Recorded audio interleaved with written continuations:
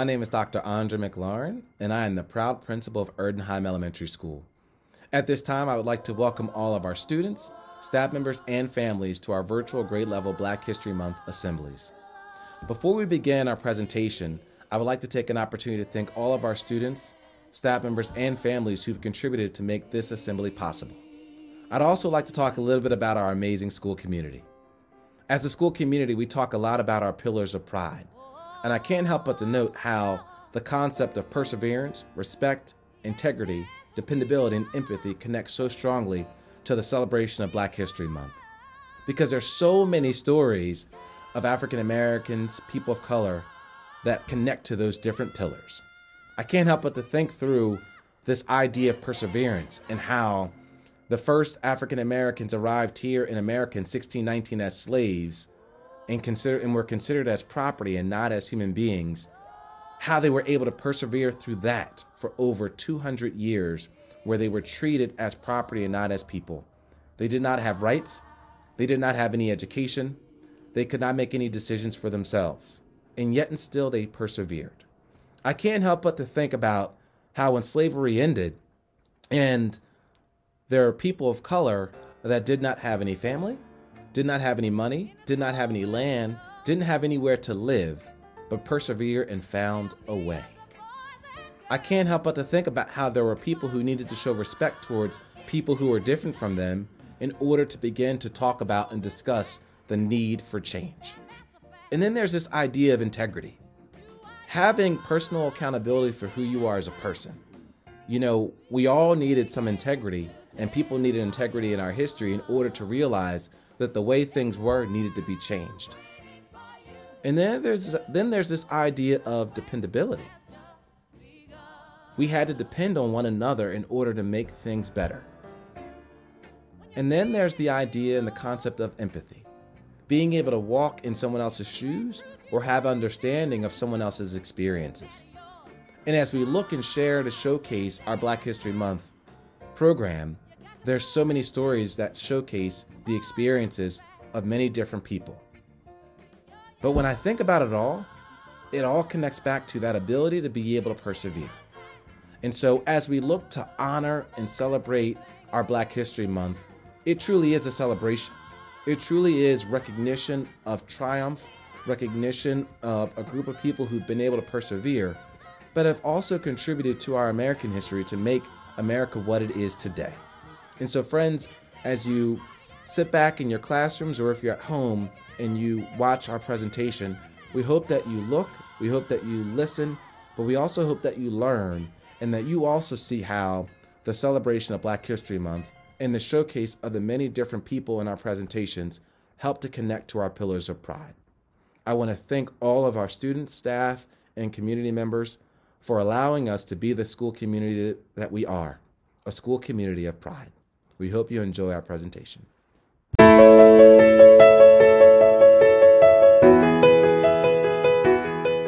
Hi there, friends. As a part of our Black History Month assembly, we'd like to share a story with you titled Our Children Can Soar, a celebration of Rosa, Barack, and the pioneers of change. This book was written by Michelle Cook. Our ancestors fought.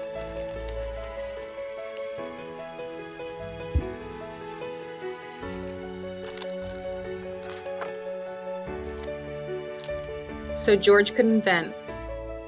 George invented.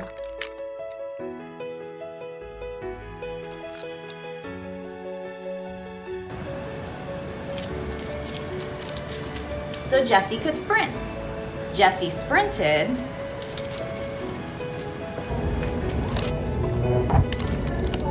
So Hattie could star.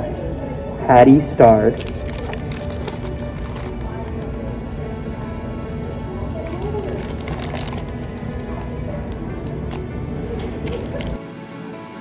So Ella could sing. Ella sang.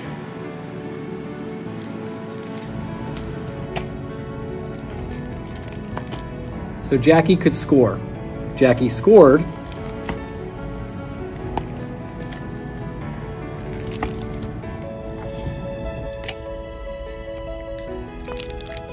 so Rosa could sit. Rosa sat.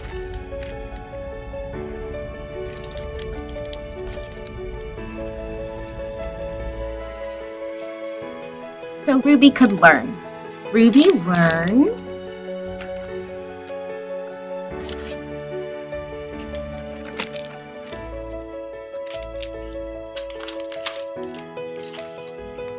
So Martin could march. Martin marched. So Thurgood could rule. Thurgood ruled. So Barack could run. Barack ran.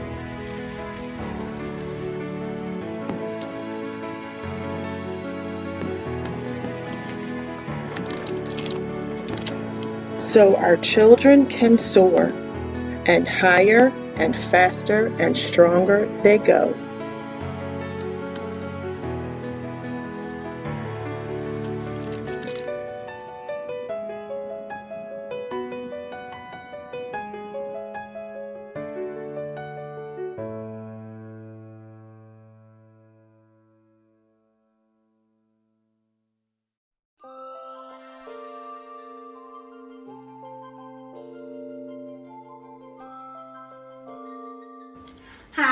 My name is Emily Smith, and I'm in the third grade. I'll be sharing you a little bit about Ella Fitzgerald's life and singing you one of her hit songs. As a young woman in Virginia, Ella longed for independence and dreamed of one day becoming an entertainer. As a teenager, she was living on the streets and singing for pennies. In 1934, at the age of 17, she got her big break. She entered the amateur night contest at Apollo Theater in Harlem. She signed up as a dancer at first, but changed her routine to singing when she saw a competition.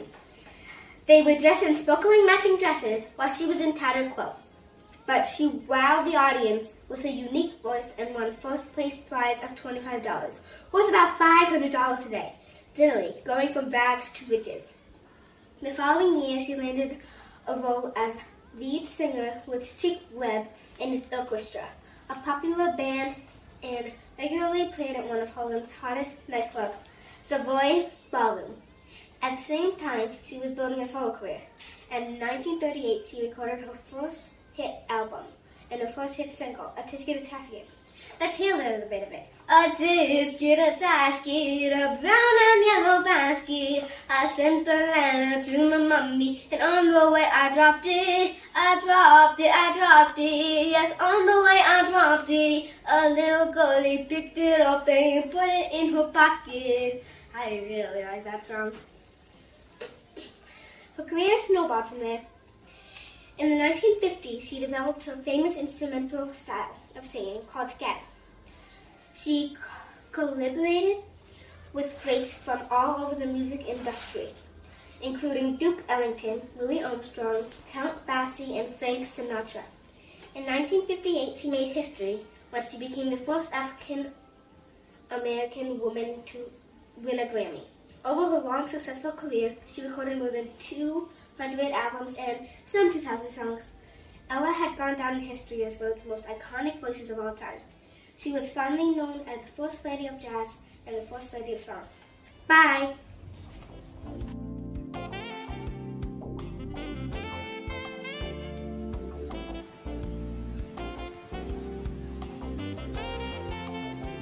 Bessie Smith was born on April 15, 1884, in Tennessee. She was an American blues singer widely renowned during the Jazz Age. When Bessie was young, her parents passed away, and so she and her siblings began performing on street corners in order to survive on their own. Bessie briefly attended West Main Elementary School in Tennessee when she was young. She was the most popular female blues singer of the 1920s and the 1930s. Bessie Smith is often referred to as one of the greatest singers of her era and was a huge influence for other blues singers and jazz vocalists. Her career was cut short when she was involved in a car crash that killed her at age 43, but her legacy still lives on. My, for Black History Month, I'd like to tell about Chuck Berry. Chuck Berry was called the father of rock and roll because he inspired a lot of people like Keith Richards from Rolling Stones, Bob Dylan, Bruce Springsteen, and me.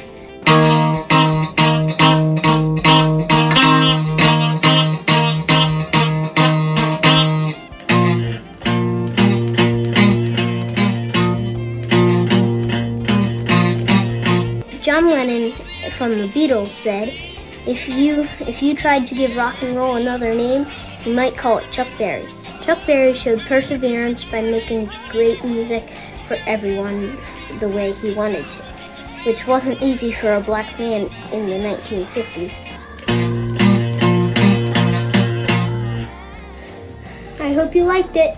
If you haven't checked out Chuck Berry, um, you should go check him out. That was Johnny B. Goode. Bye. Thanks for watching. Crystal Bird Fauset was born on June 27, 1894 in Princess Anne, Maryland. However, she spent most of her adult life in Philadelphia. In Philadelphia, she worked as a public school teacher between 1914 and 18. In 1918, Crystal began working as a field secretary for African American girls in the Young Women's Christian Association. Famous for having been, in 1938, elected to represent the 18th District of Philadelphia, a 66% majority white district, the first African American woman to serve as state legislator in the history of the United States of America. To go along with this, Fauset was also a member of President Theodore Roosevelt's Black Cabinet, where she served as Director of Race Relations for the Office of Civil Defense. She promoted civil defense planning in black communities, as well as dealing with complaints about racial discrimination. One of her great quotes was given during the 1940s Women's Centennial Congress, where she says that we should not want to think of America as a melting pot, but as a great interracial laboratory where Americans can really begin to build the thing which the rest of the world feels that they stand for today, and that is a real democracy. Crystal Bird Fauset' vision for a true democracy is one that is still shared and fought by many today.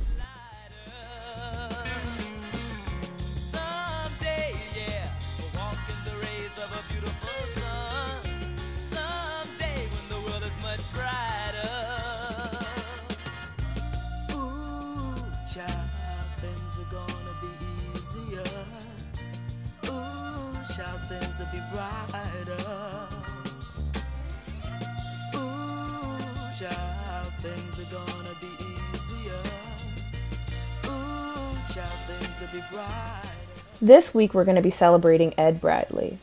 Ed Bradley was born on June 22, 1941, in Philadelphia, Pennsylvania. He went to Cheyney State College and graduated in 1964. While in college, he volunteered at the Philadelphia radio station to get experience in broadcasting. Fast forward to 1976, Ed Bradley made history as becoming the first black White House correspondent for CBS. He was also known for interviewing famous celebrities like Muhammad Ali, Michael Jackson, Lena Horne, and more.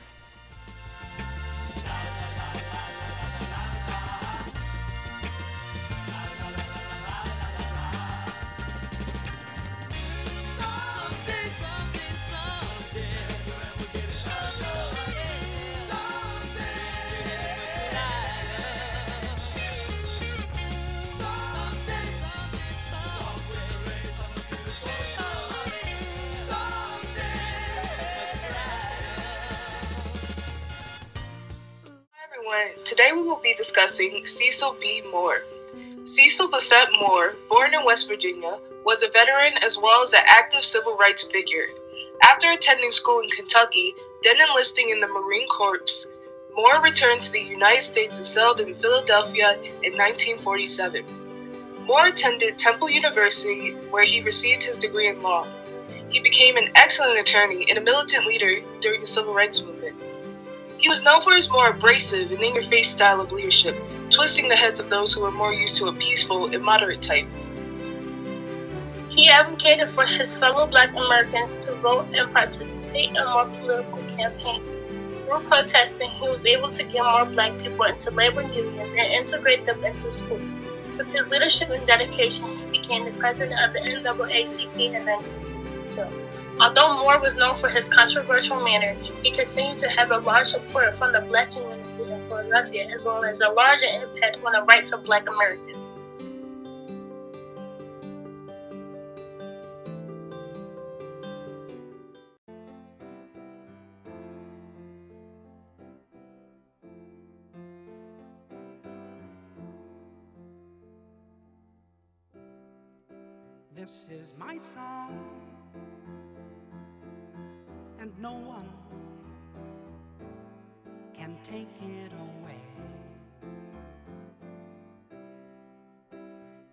So long, but now you're here. Julian Francis Abele was born on April 30th, 1881, and was the youngest of eight successful children who had long been a fixture of African American aristocracy of Philadelphia. In 1902, he was the first black graduate of Penn School of Architect. He was also the first African American architect to receive professional recognition. Abele has designed over 400 buildings, including the Philadelphia Museum of Art, the Free Library of Philadelphia, the Land Title Building, Harvard University's Widener Memorial Library, and much of the Duke University's campus. He has enjoyed a long and illustrious career at a prominent Philadelphia firm, and many of the buildings that bear his design stamp have endured to become American. Shirley Chisholm was the first black woman to be in the to be a U.S. Congresswoman to run for President of the United States in 1972. She wrote a biography in 1970 called Unbought and Unbossed. I will read two famous Shirley Chisholm quotes I found in her book's introduction. I was the first American citizen to be elected to Congress in spite of the double drawbacks of being female and having skin darkened by melanin. When you put it that way, it sounds like a foolish reason for fame. In just and free society, it would be foolish. That I am a national figure because I was the first person in 192 years to be at once a congressman, black, and a woman proves I would think that our society is not yet either just or free. In an interview in 2005, at the age of 80, Miss Chisholm spoke up of how she wanted to be remembered. I want history to remember me not just as the first black woman to have made a bid for presidency of the United States, but as a black woman who lived in the 20th century and dared to be herself. I want to be remembered as a catalyst for change in America. But you don't have to be near me to know that I'm singing. This is my song, nothing can make it die. It's been so long, and it's stronger.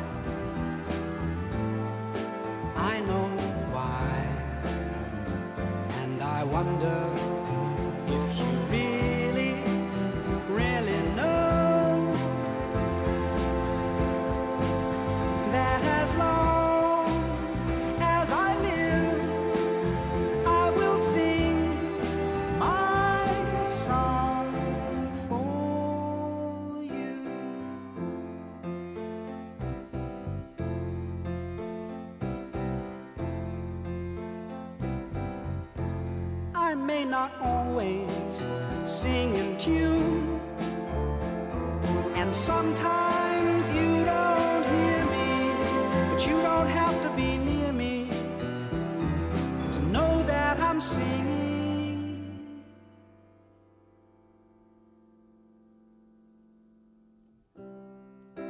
This is my song,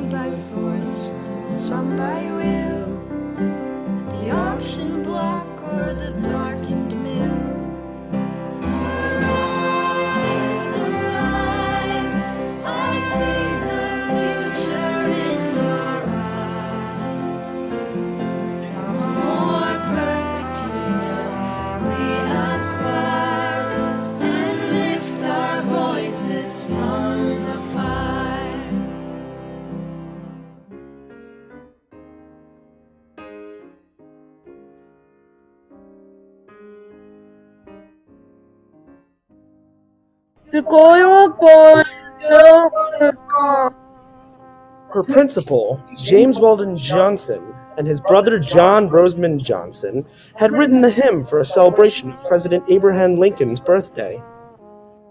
The girl wanted to make them proud. She hummed the song on her way home from school. She practiced it as she did her chores. On the big day, February 12th, 1900, she was part of a choir, 500 strong. Back straight, head high, heart and mouth open, she sang, Lift every voice and sing, till earth and heaven ring, ring with the harmonies of liberty.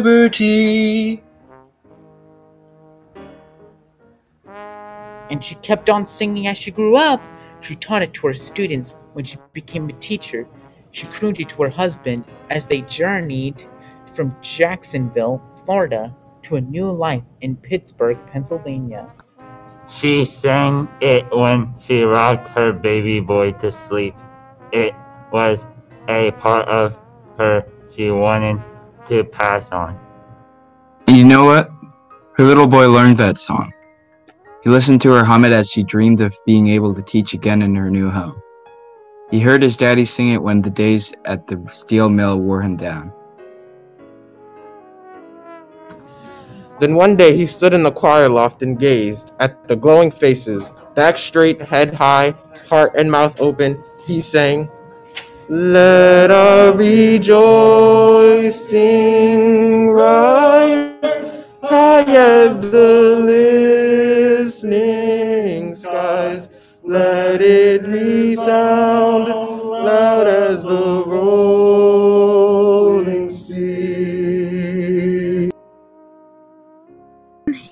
He keeps singing. He Sing. sang it when he came back from World War to it and faced condemnation. He sang it when he joined NAACP. He sang it with his wife and to his baby daughter as he rocked her to sleep. It was a part of him he wanted to pass on. And you know what? His little girl learned that song. She sang it each morning at school. Then came the day that broke the nation's heart. Dr. Martin Luther King Jr. was killed. The next morning, she saw her teacher cry. Sobs replaced singing. Then whimpers and silence. Who would lead them now? The song whispered an answer. Back straight, head high, heart and mouth open, she sang. Sing a song full of the faith that the dark past has taught us. And she kept on singing. She sang it at protests for equal rights, and when she and her friends were jailed. She sang that song in her heart each time she won or lost a case as a lawyer. She sang it to her baby boy as she rocked him to sleep. It was part of her she wanted to pass on. And you know what? Her little boy learned that song. Every family reunion opened with that anthem. He sang because he had to at first, but then something changed. He saw the awe in his grandparents' faces, saw the pride in his mamas and pops. Back straight, head high, heart and mouth open, he sang, Sing a song full of the hope that the present has brought us. And he kept on singing. He sang it at his college graduation and when he opened his first business. He sang it at rallies to stand up against racism. He sang it holding his wife's hand at black history programs and when he rocked his daughter to sleep. It was a part of him he wanted to pass on. And you know what? His little girl learned that song, and on another big day, September 24, 2016, she stood in a crowd of thousands along with her mama and daddy. President Obama, the first leader in generations of one family, rang the freedom bell, a dream born a country ago to honor black lives and contributions had finally come true. The National Museum of African American History and Culture was officially opened. With the Washington Monument piercing the sky, that little girl stared at the bronze building, majestic as a crown. As bells around the nation tolled in triumph, she heard her a voice rising too. Clear and strong, it was a song she had heard her parents sing. Back straight, head high, heart and mouth open, she sang. Facing the rising sun of a new day begun. Let us march on till victory is won. And you know what? That song is part of you. Sing when you score a victory. Sing when tough times get you down. Sing and think of all people who sang before you, who carried and pushed forward even, even everything was against them. Sing and remember they never stopped believing. Keep singing, keep pushing on, keep passing it on, keep on keeping on. Keep singing, keep pushing, keep passing it on, keep on keeping on.